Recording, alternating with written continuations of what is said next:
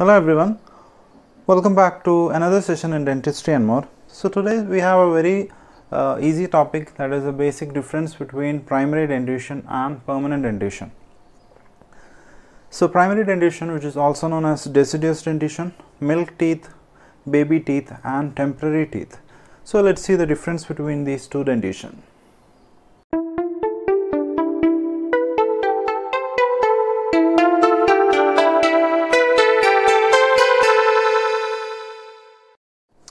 So we all know the deciduous dentition or primary dentition which starts by 6 months that is the first tooth uh, erupts into oral cavity which is the mandibular or the lower central incisors. Then it goes on erupting up to the second molars. By 2 years uh, most of the teeth will be erupted that is around 20 teeth will be erupted whereas in permanent dentition it starts by 6 year. That is again the lower central incisor will be erupted by 5 to 6 year. It uh, varies based on the gender and uh, individual to individual it may vary. Uh, so that is the eruption uh, duration. That is 6 months to 2 years. This is 6 to 21 years.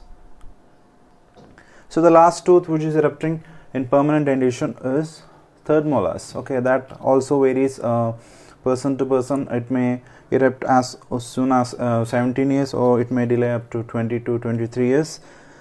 So let's see the difference between these two. Before that uh, we need to divide uh, our dentition into primary dentition mixed dentition and so primary dentition is exclusively the teeth as only primary dentition that is 6 months to 6 years. By 6 years the permanent dentition starts erupting so till 12 years the person will be having both deciduous and permanent dentition that is between 6 to 12 years. So around 12 to 13 years most of the deciduous dentition will be exfoliated and the person will be having only permanent dentition that is 12 years onwards.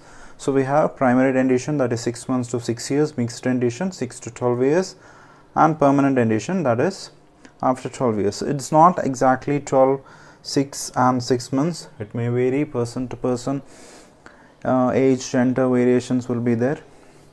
So let's see the difference between primary and permanent dentition so as i mentioned it starts from 6 months to 2 years. It starts from 6 years to 21 years. We have 20 teeth in primary dentition whereas the permanent teeth is 32 in number. So we know we have uh, four categories of teeth mm, that is we have incisors we have canine premolars no premolars in deciduous we have molars. Here we have incisors canine premolars and molars. So incisors is 8 this is 4 this is again 8 okay so total 20 teeth. Here it is different.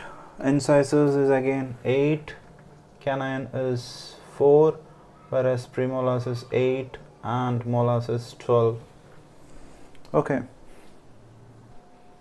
So each quadrant we need to divide by 4 so each quadrant there will be two incisors one canine and two molars here. Each quadrant there will be two incisors one canine two premolars and three molars that's how it is coming. 20 and 32 teeth in deciduous and permanent teeth. And regarding the crowns uh, in deciduous or uh, primary dentition the crowns are very short uh, whereas the permanent dentition has bigger crowns as you can imagine. In kids uh, mouth uh, small crowns. Whereas adult mouth the crowns are bigger. The which has narrow occlusal tab table in primary dentition whereas bigger occlusal table in adult dentition and the cervical region there will be a constriction in primary dentition so such constriction are not very marked or very evident in permanent dentition and thinner enamel and dentine in relation to primary whereas the permanent dentition has thick enamel and thick dentine. So the uh, direction of enamel rods in cervical third in primary dentition it is towards the occlusal side whereas in permanent dentition it is towards the gingival side. And broader and flat contacts between the teeth whereas in permanent dentition it has point contacts that is between the teeth. The regarding the color the primary dentition is more whiter uh, lighter in color whereas the permanent dentition is more darker and slightly on yellowish side.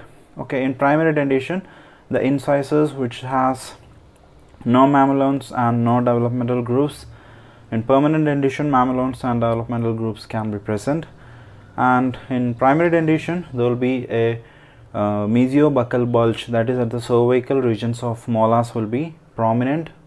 So this type of mesiobuccal bulge on the cervical side will not be prominent in primary dent permanent dentition. And as i mentioned icpm that is a code incisors canines premolars and molars. Two incisors one canine no premolars two molars. 2123 that is two incisors one canine two premolars and three molars. So regarding the pulp the deciduous dentition has large pulp chamber. The pulp horns are more closer to the outer surface. So the treatment procedures there will be accidental pulpal exposure because it has a bigger pulp chamber and it is very close to the outer surface of enamel and more cellularity and more vascularity. So uh, it is uh, just opposite or just uh, lesser in permanent dentition cellularity and vascularity is comparatively low and the pulp chambers are not very big and it is away from the outer tooth surface. And roots are larger and slender and smaller trunks whereas the roots are shorter and bulbous roots and it has larger trunk which is towards the apical direction where the trunk is towards the uh, cervical region.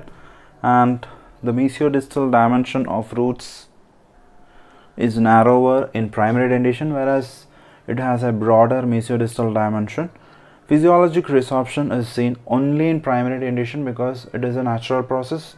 The roots will be resorbed and permanent dentition will be replaced. Such resorption is not seen in permanent dentition and interglobular dentine is absent in primary dentition whereas it is present in permanent dentition and there will not be uh, much gingivitis or recession which is uh, periodontal problems. Mostly it is uh, absent in primary dentition but it is very very evident and it is present in permanent dentition. So this is uh, some of the few examples. So we can have tooth wise uh, comparison and um, each category like enamel dentine pulp cementum periodontal ligament. So I, I include uh, most of the differences. So this is most commonly asked uh, essay question or sometimes a shorter note or a very short note.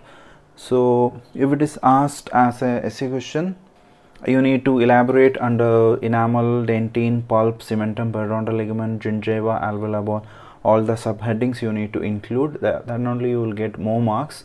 So if it is a short note or a very short note like 3 marks or 5 marks you can write this uh, making a table and write the important uh, so this includes most of the characteristics but not uh, very much in detail uh, explanation is given. So that's about the difference between primary dentition and permanent dentition. So i'll come up with a new topic in dentistry mo thank you